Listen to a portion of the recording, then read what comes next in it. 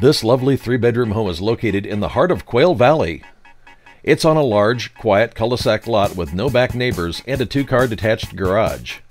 The home includes updates that include the roof, air conditioner, double pane, energy efficient windows installed, and both bathrooms updated, making this house move in ready. For more info, contact the Forbes team